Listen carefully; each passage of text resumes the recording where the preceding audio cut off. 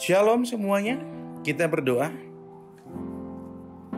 Kasih karunia dan damai sejahtera dari Allah Bapa kita dan dari Tuhan kita Yesus Kristus menyertai kamu. Amin. Renungan pada hari ini Senin 5 Juli 2021 Tertulis dalam Mazmur 19 ayat 15, Mudah-mudahan engkau berkenan akan ucapan mulutku dan renungan hatiku, ya Tuhan, gunung batuku dan penebusku. Demikian pembacaan firman Tuhan. Kemuliaan Tuhan dalam pekerjaan tangannya. Demikian judul besar nas kita hari ini merupakan satu ungkapan si pemazmur agar Tuhan tetap berkenan atas ucapan syukurnya. Nas ini berupa suatu ungkapan. Nas ini merupakan seruan daripada si pemazmur sendiri. Bagaimana dia berharap kepada Tuhan. Mudah-mudahan Engkau berkenan akan ucapan mulutku dan renungan hatiku, ya Tuhan, gunung batuku, penebusku.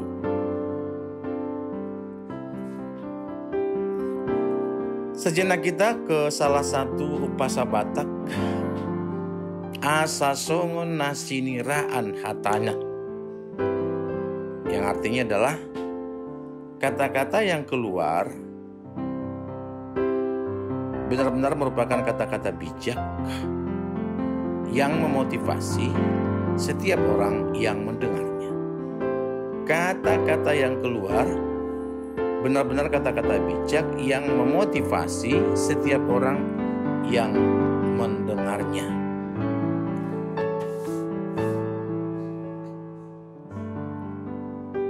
Ada kaitannya dengan bagaimana dikala kita menyuarakan segala yang kita mohonkan kepada Tuhan.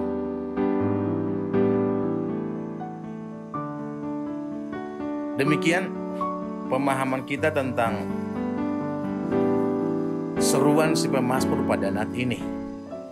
Lebih tepatnya dalam Kolose 4 ayat 6a dikatakan, Hendaklah kata-katamu penuh kasih, jangan hambar. Hendaklah kata-katamu penuh kasih.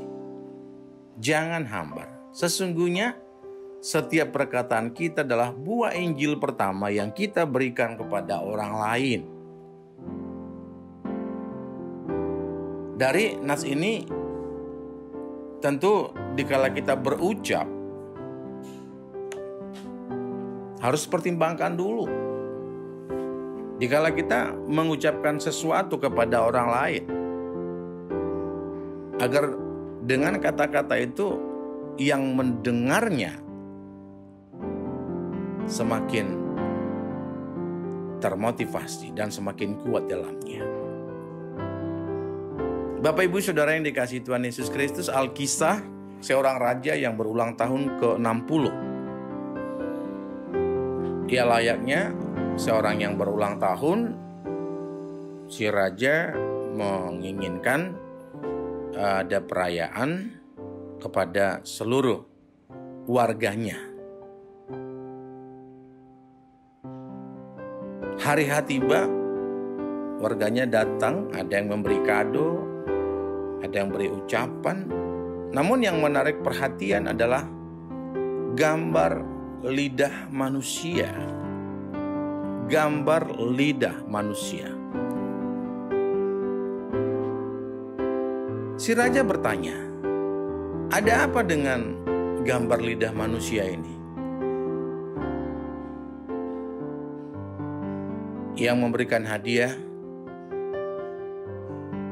mengatakan, "Hamba Tuhan, izinkan hamba untuk memberikan alasan memberikan hadiah gambar lidah manusia. Karena setahu kami fungsi lidah memuji Tuhan, fungsi lidah itu mengucap syukur, fungsi lidah itu memotivasi orang, mengajari orang untuk berbuat baik. Demikian yang kami terima selama ini dari baginda raja kami yang selalu mengajari kami untuk mengucap syukur, yang selalu memotivasi kami, yang selalu memberikan pengajaran kepada kami. Si raja sangat terkesima dengan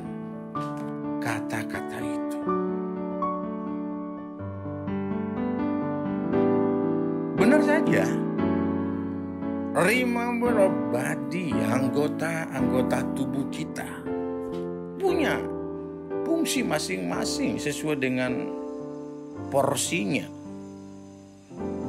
Kepala punya fungsi, mata punya fungsi, kaki, dan lain sebagainya. Dikala Tuhan memberikan kita dua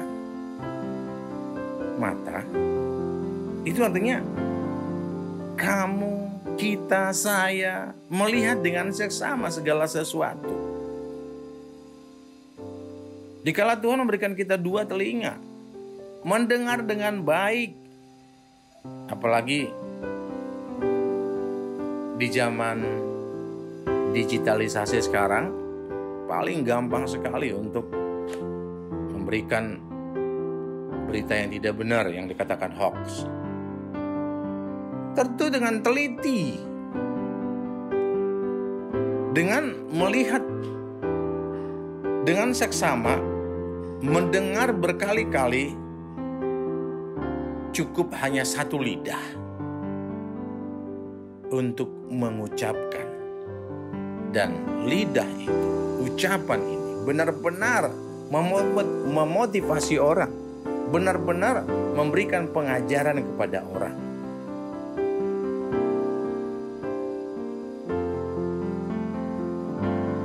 dan itu yang Tuhan mau dalam kitab Mazmur pada saat ini Mudah-mudahan engkau berkenan akan ucapan syukurku dan renungan hatiku, ya Tuhan, gunung batuku dan penebusku.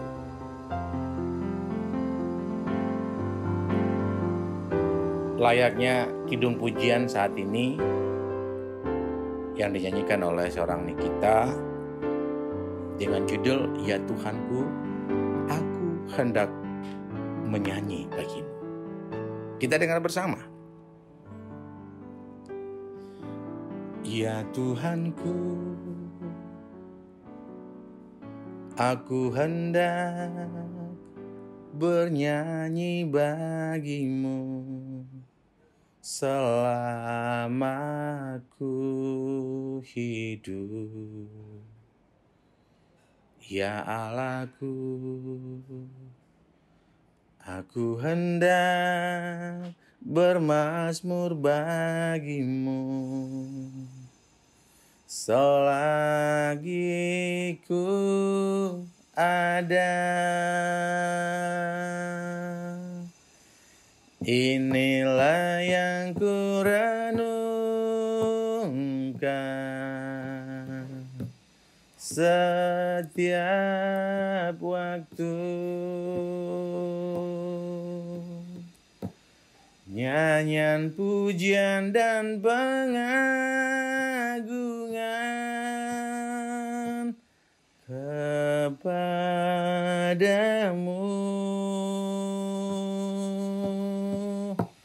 Biarlah manis kau dengar Tuhan. Manis ku dengar Tuhan dan hatiku bersuka karenamu.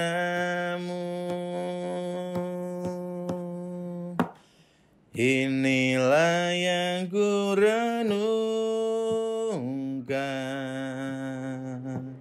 setiap waktu.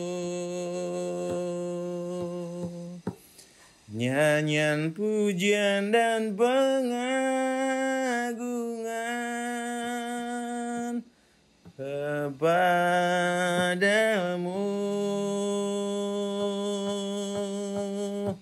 Biarlah manis kau dengar Tuhan Manis kau dengar Tuhan Dan hatiku bersuka karenamu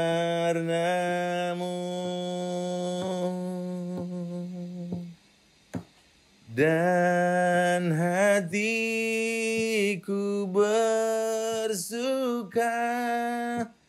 karenamu.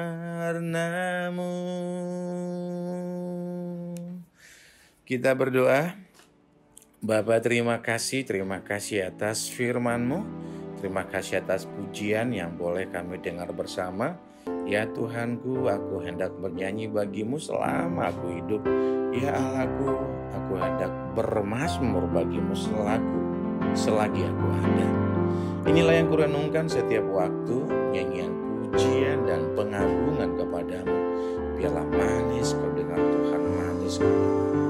Dan hatiku bersyukur karena Mampukan kami untuk mengaminkan, mampukan kami untuk melakukan firman-Mu agar Tuhan selalu berkenan akan ucapan mulut kami dan renungan hati. Kembali kepada hadirat Tuhan, gunung batu dan penebus kami. Amin.